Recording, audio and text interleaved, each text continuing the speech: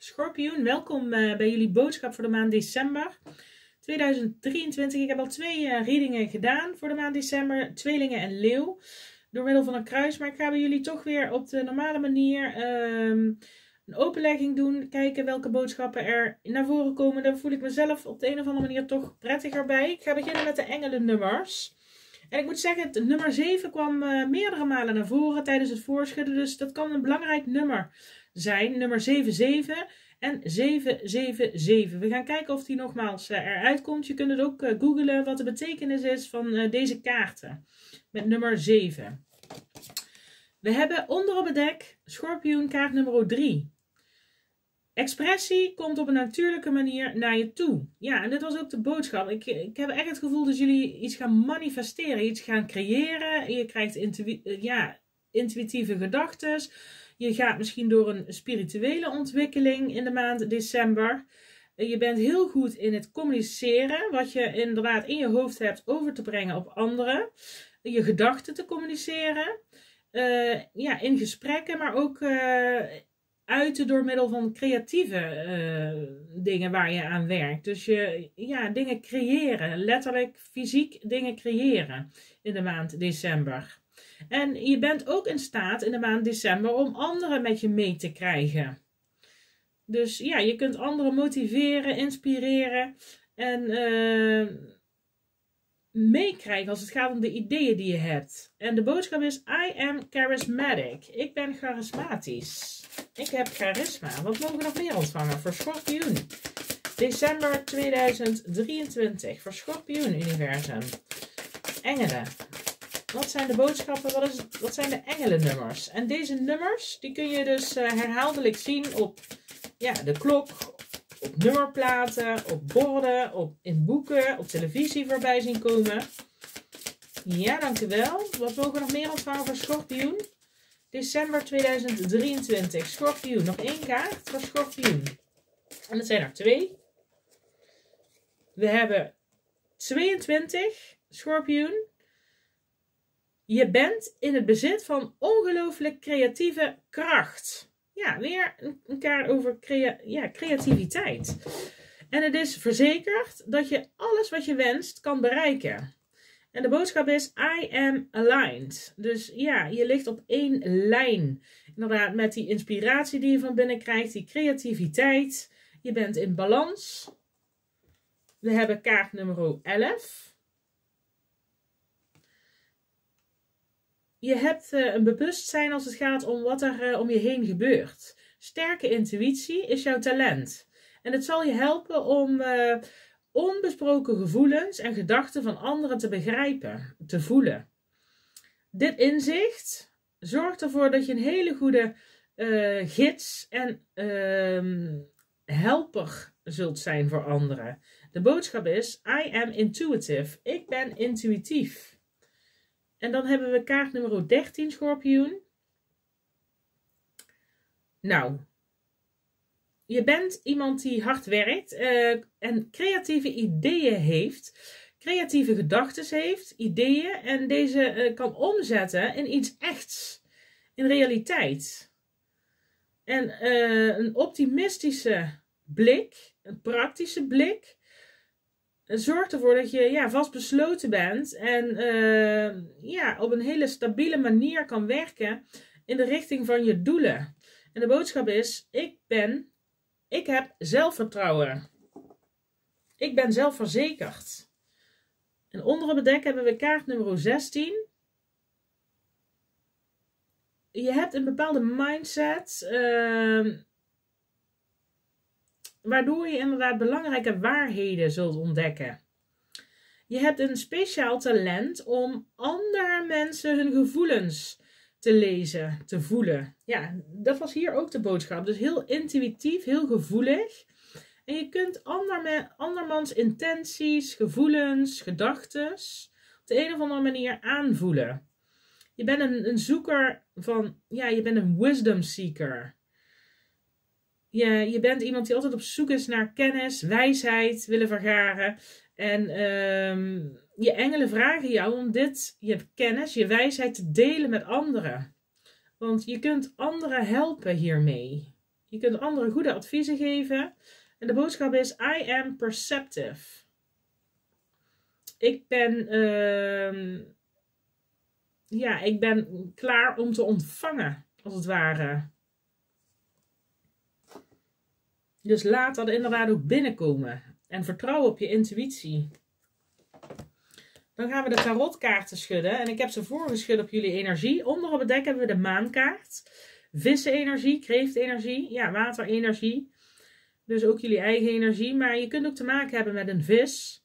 Maar dit is ook uh, weer een kaart van hele diepe emoties en intuïtie. Je instinct. Vertrouw op je intuïtie. Er kan, de maan kan ook staan voor dingen die niet helder zijn. Onrust uh, die er op dit moment wellicht speelt. Laat je angsten los, schorpioen. Er zal helderheid komen. Gebruik je intuïtie en luister ook naar de tekenen die je krijgt. Vanuit je onderbewustzijn, vanuit je gevoel, je, je intuïtie. Universum, wat is de boodschap voor Schorpioen voor de maand december? Schorpioen, de maand december. En dit zijn korte boodschappen, er komen nog meer readingen, ook liefdesreadingen. Wat is de boodschap voor Schorpioen? En dit is voor iedereen die schorpioen in zijn zon, maan of ascendant heeft, andere plaatsingen en ook crosswatchers zijn natuurlijk welkom. Eerste kaart, Pentakels 10. Ja, dit staat voor je stabiliteit, voor je veiligheid, zekerheid, financiële zekerheid, familie.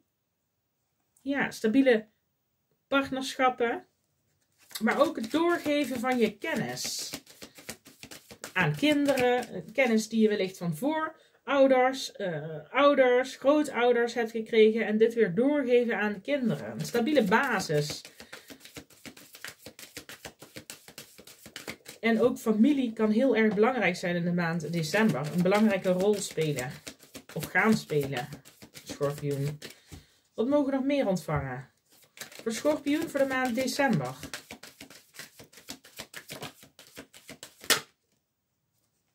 We hebben er vier.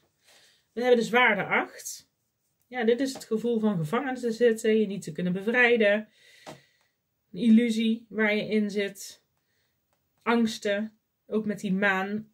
Dus er zitten bepaalde angsten, onzekerheden.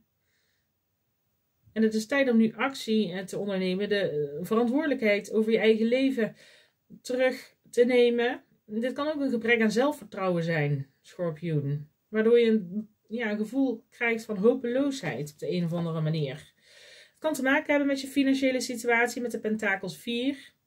Maar dit is ook iemand die zijn emoties binnenhoudt. Dit is ook iemand die wijze keuzes maakt als het gaat om de financiën.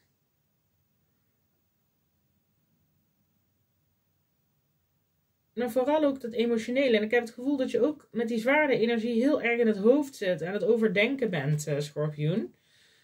Dan hebben we een hele mooie kaart, de staven 7, voor jezelf opkomen en voor datgene opkomen waar je in gelooft. Zelfvertrouwen hebben. Dat hadden we hier. I am confident. Dit is iemand die heeft zelfvertrouwen, verdedigt zichzelf.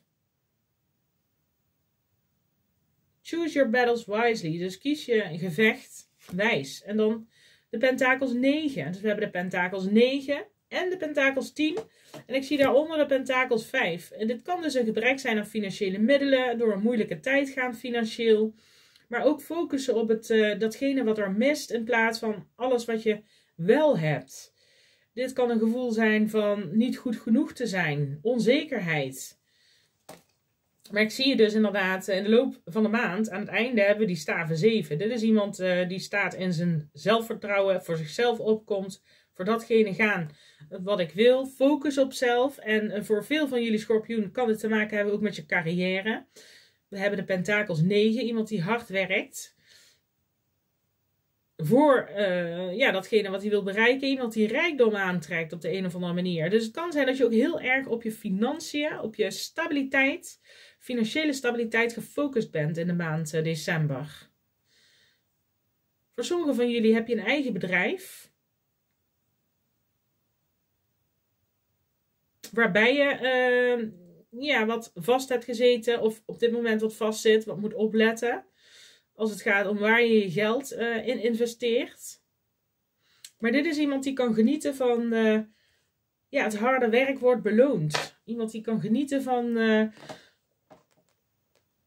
ja, de vruchten die het harde werk afwerpt. Dit is iemand die zich een bepaalde mate van luxe kan permitteren. Iemand die eigenlijk niemand, niemand anders nodig heeft. Heel onafhankelijk, zelfvoorzienend.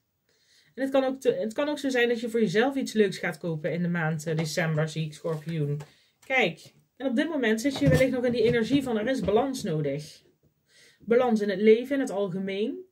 Uh, te hard werken en te weinig tijd voor jezelf over hebben. Alle ballen in de lucht houden. Heel veel verantwoordelijkheden dragen. Wat te maken kan hebben met familie en gezin. Maar dit kan ook te maken hebben met financiën. Heel sterk die financiële energie. En uh, werksituaties met de Pentakels 8. Heel veel tijd en energie ergens instoppen. En je vraagt je misschien ook af, datgene waar je op dit moment je energie en tijd in stopt, is datgene, is dat hetgene wat me voldoening geeft? Je hebt misschien heel weinig tijd over voor uh, familie, vrienden. Dus een situatie is uit balans. Waarom ligt hier de pentakels 9 voor schorpioen? Ja, nog een 9. We hebben de zwaarde 8, we hebben de zwaarde 9. Je zorgen maken. Er is iets wat in je hoofd zit. En het kan te maken hebben met financiën. Het kan te maken hebben met ja, die stabiele basis creëren. Een stabiele basis voor jezelf, voor je gezin, voor je familie. En dit is iets waar je s'nachts wakker van ligt met die uh, zwaarde 9. Waarom ligt hier de pentakels 9? Oeh. De zwaarde 7. Je kan te maken hebben gehad met een verlies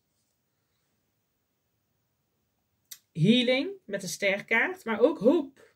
Dus er komt uh, iets op je pad, iets wat weer hoopgevend is. En dit is ook een hele spirituele kaart. Er vindt healing plaats, er is weer hoop, er is weer licht aan het einde van de tunnel. Dus als je inderdaad op dit moment door een periode gaat van uh, financiële onzekerheid, er komt uh, positieve vooruitgang met de Pentakels 9 als algemene energie. En je bent je op dit moment heel veel zorgen aan het maken. Maar dit is ook een kaart van moedig zijn, durf hebben, vol blijven houden met die krachtkaart. Ook door deze situatie kom je heen. En voor sommigen van jullie schorpioen heeft het te maken met een familiesituatie. Waarbij je wellicht te maken hebt gehad met oneerlijkheid. Bedrog. Iets wat ja, heel veel van je energie kost. Iets wat uh, ja, ervoor zorgt dat eh, je situatie uit balans is, je zelf emotioneel uit balans bent, je healing nodig hebt. En dan zie ik je dus in die maand december gewoon weer sterker in je schoenen komen te staan. Waarom ligt die pentakels 10? Pentakels 10.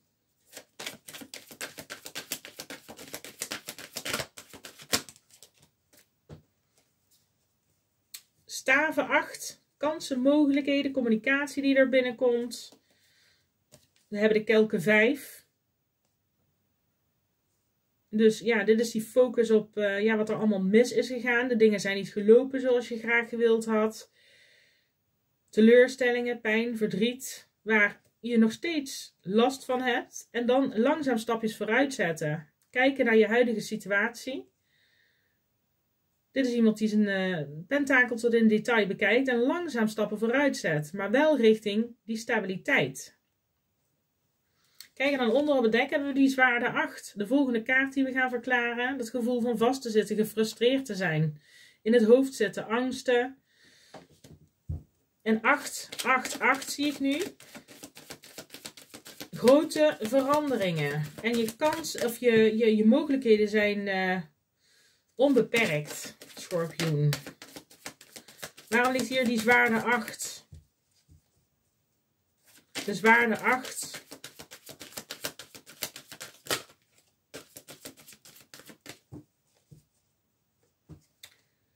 de kelken 6. Dus het kan te maken hebben met het verleden. Dit is romantiseren van het verleden. Terugdenken aan een tijd dat alles nog ja, gelukkig, veilig, zeker was. Het kan te maken hebben met personen uit het verleden die terugkomen of die nog een bepaalde rol spelen. Dit kan iemand zijn uit je verleden die je uh, teleurstelling heeft veroorzaakt. Je kunt je ook zorgen maken over je kinderen. Dit kan een kaart zijn die staat voor kinderen onder de zwaarde 8 en dan um, maagdenergie met deze kluizenaar je terugtrekken. In je schulp trekken. een innerlijk licht schijnen, een mentor zijn. Naar jezelf toe, maar ook voor anderen heb ik het gevoel.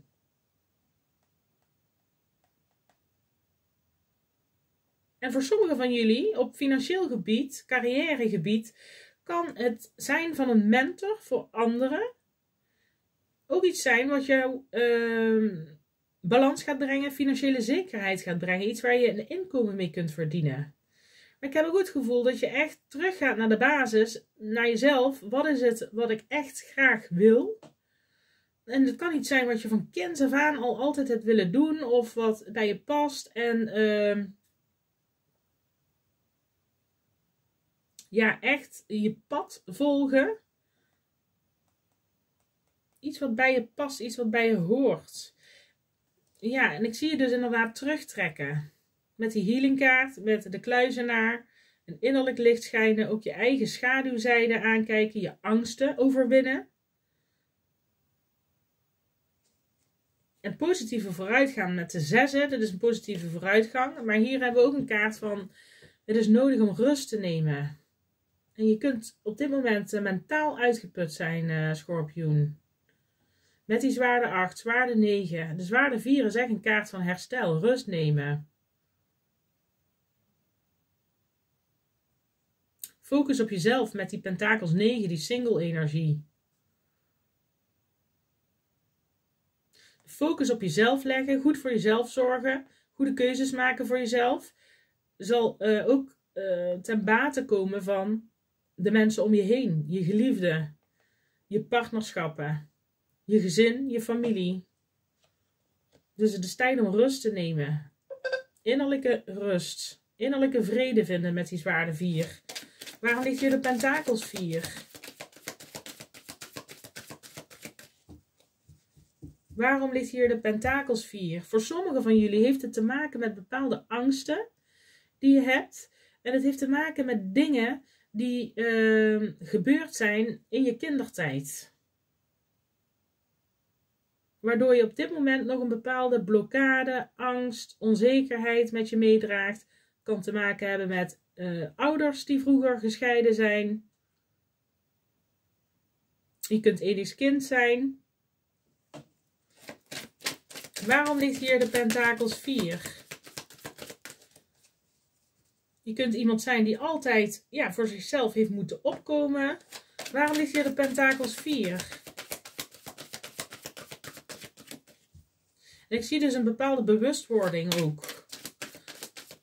Van zaken die zich hebben afgespeeld, die op dit moment nog steeds zijn uitwerking hebben op je dagelijkse leven. Waarom ligt hier de pentakels 4?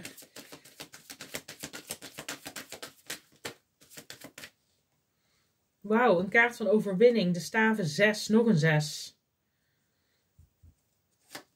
Waarom ligt hier de pentakels 4? Dus als je door een, situatie op dit moment het moeilijk hebt, financieel, dan zie ik dus inderdaad een, uh, ja, een erkenning, een succes, een overwinning die je zult behalen, schorpioen. Waarom ligt hier de pentakels 4? En ik zie je ook meer weer in de maand december je terugtrekken.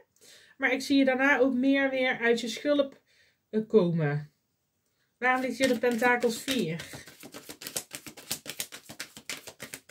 En ik zie je dus ook wijze beslissingen maken als het gaat om je financiën. Waardoor je er weer bovenop komt. Aas van staven. Ja, dit zijn kansen, dit zijn mogelijkheden.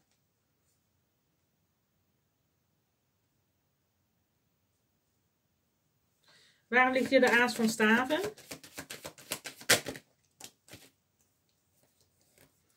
De kelken 10. We hebben de pentakels 10 en de kelken 10, de twee mooiste tienen. We hebben de kelken 8. En we hebben de schildknaap van pentakels.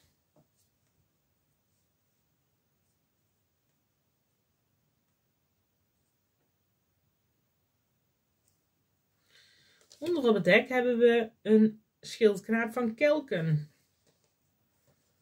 Het oordeel, de kelken 3 en de koningin van kelken, jullie eigen energie.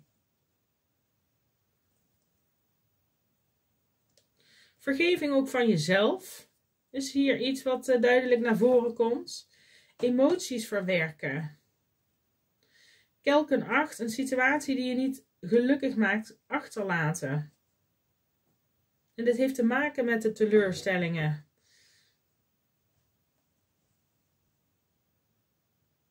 Dingen leren met deze schildknaap van pentakels. En dat heeft ook met jezelf te maken.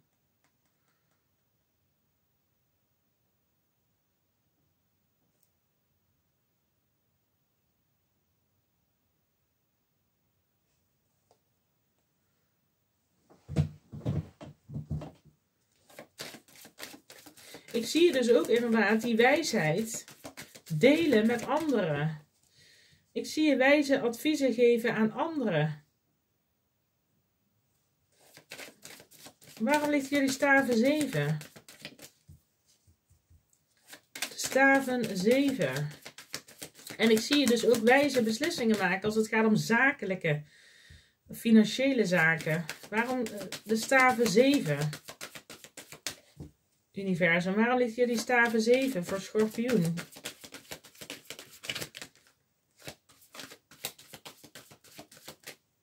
Dan hebben we stiermaakt steenbok energie. Ja, dit is iemand die alles mooier maakt. Heel uh, wijze keuzes maakt. Haar middelen op een goede manier inzet. Heel liefdevol is naar ja, haar geliefde, haar gezin. Maar ook goede keuzes maakt voor zichzelf. Iemand die zorgt voor stabiliteit, voor zekerheid. Met deze koningin van pentakels.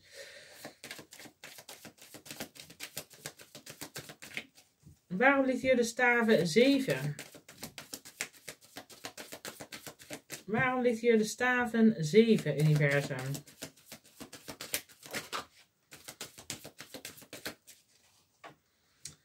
Oeh, de doodkaart. Schorpioen energie, jullie eigen energie. Dus een hele sterke, grote transformatie, verandering.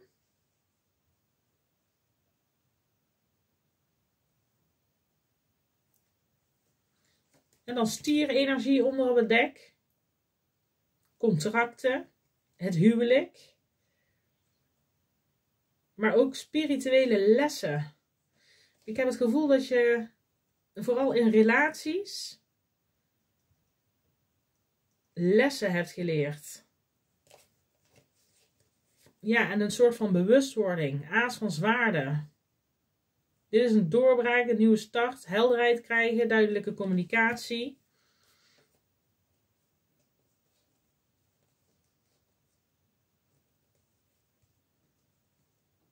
Een risico nemen, meer zelfvertrouwen zie ik.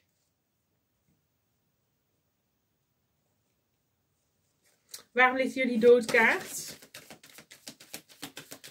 De doodkaart, universum, voor schorpioen.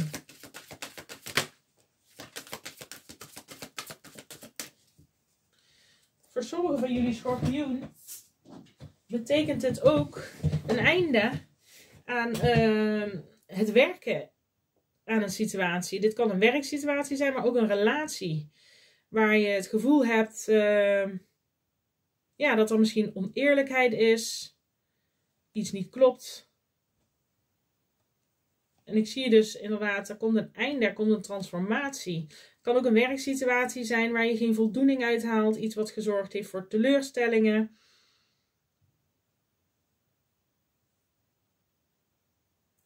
Maar ik zie je ook in een soort van een soort van passieve energie naar echt actief ergens ja, je tijd, je aandacht uh, aan besteden. En dit is iets wat echt van binnen komt. Dat iets waar je in gelooft. Iets waarvan jij het gevoel hebt, dit is wat ik moet doen. Dit is het goede om te doen.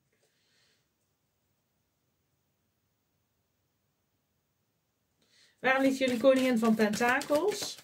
Stier maakt steenbok. Dit kan dus ook iemand zijn waar je mee te maken hebt. En waar je je grenzen naar gaat aangeven. Naar een stier, maakt of steenbok. Dat kan een vriendin zijn. Dit is een koningin, maar we hebben allemaal mannelijke en vrouwelijke energie. Waarom ligt hier de koningin van pentakels? Maar ik zie je dus praktische stappen zetten. Volwassen keuzes maken. Keuzes maken die goed zijn voor jezelf. En dit is iemand die heel realistisch is, geaard is. Waarom ligt hier die koningin van pentakels? De stabiliteit is iets wat uh, heel belangrijk is. Gerechtigheid. Kaart van balans, gelijkwaardigheid. Eerlijk zijn naar jezelf. Keuzes maken.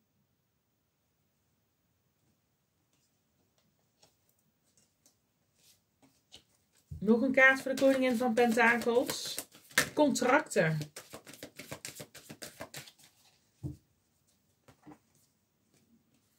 Oeh, ja, de aas van pentakels.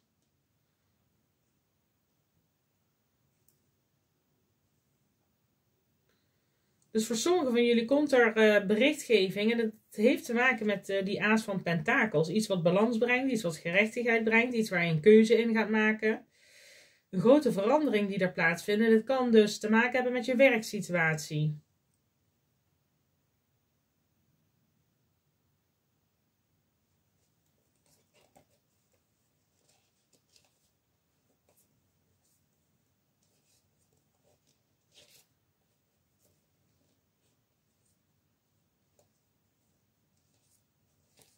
Waarom ligt hier de aas van pentakels?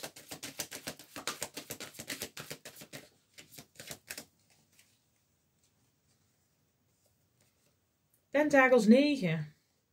En de ridder van zwaarden. Ja, ik, voor sommige schorpioenen, het kan te maken hebben met uh, een relatie ook die je achter gaat laten. Waarin je besluit, uh, waarin je gevoel hebt ja, vast te zitten, gefrustreerd te zijn, niet verder te komen. En kinderen kunnen een rol spelen in een beslissing die je gaat maken, schorpioen, om iets te beëindigen, je grenzen aan te geven. En voor datgene te staan waar je in gelooft, praktische stappen te zetten, eerlijk zijn naar jezelf, keuzes maken. Maar ik zie ook voor sommigen van jullie inderdaad dat, je een, uh, dat er een nieuw contract gaat komen. Of het heeft te maken met uh, partnerschappen, een lange relatie, een huwelijk. Waar een hele grote transformatie gaat plaatsvinden. Waar jij het voortouw uh, in neemt. Of een keuze die er gemaakt gaat worden, inderdaad. En wat te maken heeft met ja, werk. Er komt iets op je pad. Positieve vooruitgang, wat financiële zekerheid uh, gaat brengen. Ja, want de huidige situatie is eh, de situatie Pentakels 5. Iemand is emotioneel niet uh, beschikbaar in een relatie. Iemand geeft niet in een relatie. Iemand geeft het gevoel alleen te zijn, in de kou te staan, overal alleen voor op te draaien. Maar dit kan ook je financiën zijn. Een gebrek aan financiële middelen hebben. Of je onzekerheid, je niet goed genoeg voelen. Onzeker zijn. En dan zie ik daar dus uh, grote veranderingen in komen. Waardoor je dit achter kunt laten, die pentakels 5 energie. Ja, een nieuw start, een nieuw begin, een reden om iets te vieren. En naar kalmer vaarwater gaan. Ik zie dus waarde 6. En ik zie dus ook echt iets uit het verleden, conflicten. En datgene wat je zorgen, waar je je zorgen over maakt, datgene waar je maar aan blijft denken, dat is hetgene wat je langzaam achter gaat laten. Je zult een rustiger hoofd krijgen, schorpioen. Ja, en je gaat jezelf bevrijden, je blinddoek afdoen met die zwaarde 8. En weer die controle nemen, je grenzen aangeven, jezelf verdedigen wellicht ook. Het kan zo zijn dat er nog een gesprek plaats gaat vinden met iemand.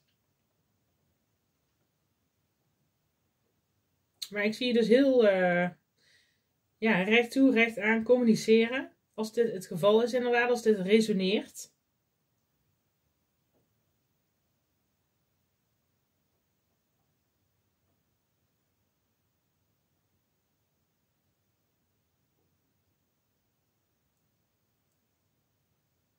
Maar ook inderdaad de focus op jezelf. Op die stabiliteit. En ik zie dat daar ja, een grote verandering gaat plaatsvinden. Je verantwoordelijkheid nemen. Positieve mogelijkheden. Waarom ligt hier die staven 8? Als laatste kaart, die staven 8. voor schorpioen.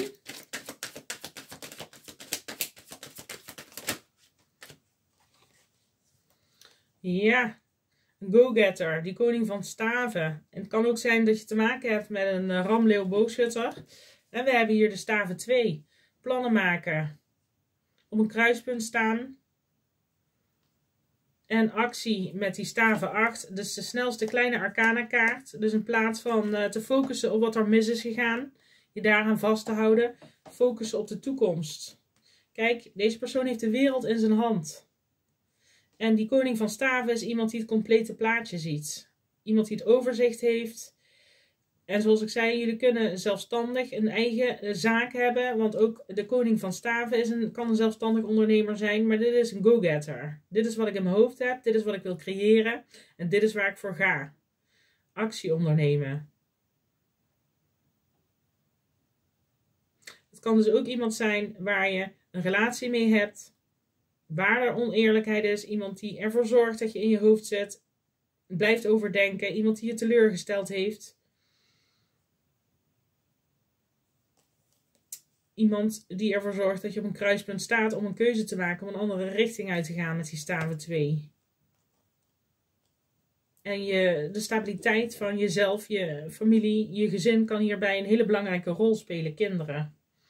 Dus uh, ja, dit is wat ik voor jullie heb, schorpioen toch wat langer doorgegaan als verwacht.